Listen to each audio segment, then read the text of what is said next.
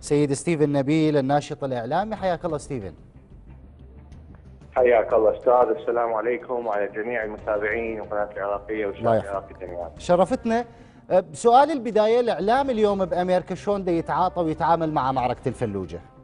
قبل أن نبدي بالتدوين.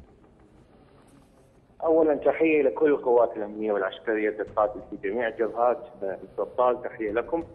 الإعلام الغربي بصراحة حاليا نشوف أحسن معطيات أحسن من قبل سنتين وثلاثة وأربعة. جيد. لأن الشباب العراقي هجم هجمة كلش قوية على تويتر وعلى الفيسبوك وجميع الصفحات الوطنية والبيجات والاكونتات والناس والمتابعين كلهم تحولوا إلى مدونين ومراسلين حربيين مما أدى إلى وصول المعلومات بصورة أسرع جيد. إلى المراسل ستيفن مو هنا السؤال. يعني أنا أقصد إنه وسائل الإعلام الموجودة بأمريكا بعد تعتمد على كلاسيكيات التغطية الإخبارية إنه تعتمد على المراسلين أو على الوكالات اللي موجودة بأرض المعركة لو اتجهت فعلا إنه تأخذ الأخبار بشكل موثق من وسائل التواصل الاجتماعي. مشكلة العدو إنه هو استغل وجود بعض من المتعاطفين معه في الخارج الذين يلبسون القاط والرباط وأوهم الناس إنهم مدنيين وناس زينة لكنهم في داخلهم دواعش. صحيح. هم أوصلوا كلمات مو زينة وأخبار مو زينة على مدى السنين. حاليا بعض الصحف الأجنبية والوكالات الأجنبية عندها مكاتب في بغداد تروح ويا الحشد ويا الجيش ويا البشمركه تزور الجبهات تشوف شنو الوضع. لذلك الأخبار توصل بصورة أحسن. ما يجعلها يعني حاليا المواطن العراقي اللي من يطبع على تويتر وعلى الفيسبوك ودا ينشر الأخبار باللغة الإنجليزية والعربية. دا يعمل كدور المحرر الرقيب اللي يساعد هاي الوكالات العالمية على تدقيق اخبارها، يعني من يشوفون إنه أكو هجوم وانتصار العراق هم يتشجعون يدزون مراسل أو أو بيتصلون بينا يطلبون يلتقون بكذا ضابط. جيد، أنت مدون معروف ستيفن و... ومشهور ومستمر ونشط على مواقع التواصل الاجتماعي. شلون نشوف اليوم حملة الهاشتاج اللي يشتغل عليها المدونين العراقيين؟ وشلون دا تصير صيغة تحرير هذا الهاشتاج حتى تنتشر؟ أخي العزيز إحنا لا مشهورين لا شيء. إحنا فقط خدم الوطن له فضل عليه جميعا. فمثل ما مثل ما الجندي يقاتل أحسنت. بس بس أنا أقول المدون النشط ستيفن المدون النشط نعم. والمعروف عند الناس يكون له تأثير وهذا هو المهم طبعا. نعم. نعم. نعم. طبعا نحاول نوحد الصوت. نحاول نوصل صوت الجنود فيديوهاتهم معنوياتهم العالية.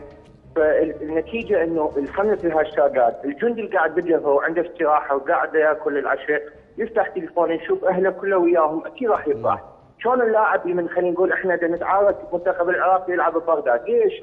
لأن اللاعب اللي يلعب على ارضه بين جمهوره والناس تصيح اسمه يقدم أكثر، كذلك الجندي من يلعب على ارضه يشوف أهله يتابعون ويتابعون فيديوهاته وبطولاته راح يفرح وينتصر على داعش أكثر. لا فعلا هو هاي تسمية الحشد الإلكتروني صحيحة. يعني اليوم بدأوا المدونين يعلنون ساعة صفر لإطلاق هاشتاج يعني كأنه ساعة صفر لمعركة وهذا هذا جميل وسابقة ترى بالعراق. هاي ستيفن. طبعا أخي هاي معركة لأن الإعلام الدولي تضامن وياك، الشعوب تضامن وياك، على الحكومات، السياسات تتغير، أسلحة تتغير، كل شيء يتغير، لذلك كلش مهم الدعم الإنساني يتغير، أكو منظمات توصل لها معاناة النازحين وال ايتام عن طريق هاي الهاشتاجات وعن طريق هاي الصور والمقالات لذلك جدا مهم وأيضا أكو شيء جدا مهم المتعاطفين مع داعش. اللي قاعد بالدول العربية والدول الغربية ودا ياخذ أخبار من داعش وعباله المعركه مقدسة ودينية على على قول داعش وهو كله كذب. اليوم دي يشوف الحقيقة دي يشوف داعش يقتل المدنيين دي يشوف داعش يقتل أهالي المناطق المحتلة. راح يغير رأيه. يمكن ما راح يستفاد نفس بغداد. قبل قليل السيد أبو فراس الحمداني ذكر إنه أكو مؤسسات تشتغل على نشر الإشاعة وعندها أذرع تشتغل وياها.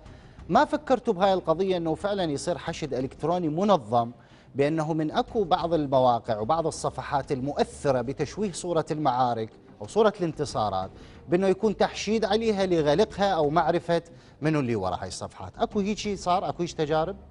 أكو أكو صفحات هدفها هي كلها تعمل سوى تشوف صورتها مدنية ويحط لك فيديوهات مضحكة لكن بالحقيقة هي عبارة عن صفحات داعشية تستهدف المدونين، تستهدف الحكومة، تستهدف الجيش والحشد، تستهدف جميع ال بالمقابل أنتم أنتم أنتم استهدفتوا هاي الصفحات ستيفن؟ الإخوان دائما يعني الشعب العراقي ما يقبل الغلط، فيشوفون شيء غلط يشوفون أشياء داعشية يستهدفوها، إن شاء الله يكون عندنا تعاون أكثر بالمستقبل إنه نفضح هاي الجهات ونقول ترى يعني أكو بس نصيحة إلى جميع الناس. إخواني أنا اخوكم الاصغر منكم لما تشوفون صفحة وهمية ما تعرفون الآدمن منو رجاء لا تصدقون بالأخبار، قد يكون هذا داعش قد يكون اسمه أبو قتادة، قد يكون ضابط مخابرات من دوله اجنبيه، فديروا بالكم مو كل شيء تشوفوه بالفيسبوك. إذا مو من جهه موثقه لا تصدقون به.